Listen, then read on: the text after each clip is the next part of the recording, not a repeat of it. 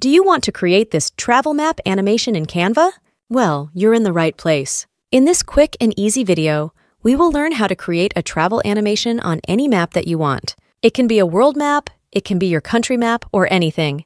You will only need Canva and a couple of minutes of your time. So without wasting your time, let's start with the tutorial. We will first add our map.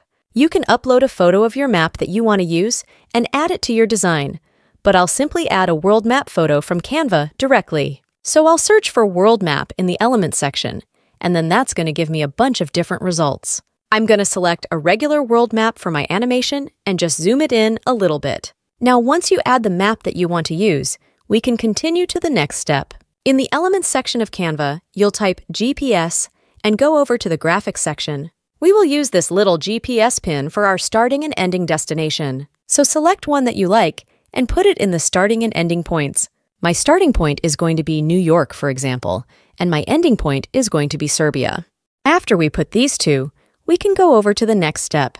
Select the text tool and then type a bunch of dashes like I'm doing.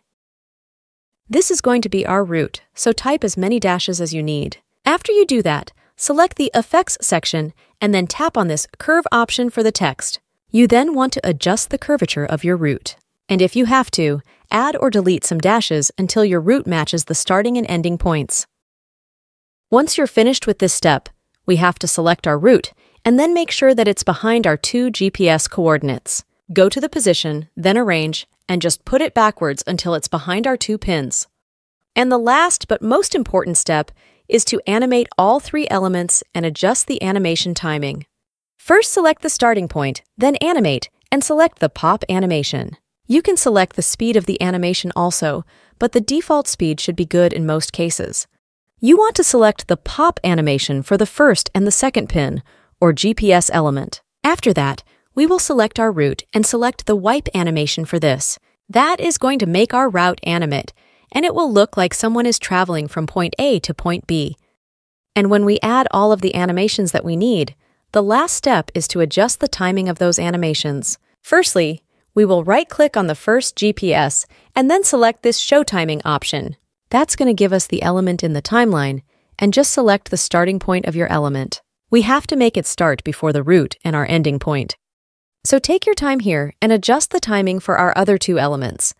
You want to make the route start right after the first GPS ends animating, and adjust the starting time of the ending point right after our route ends.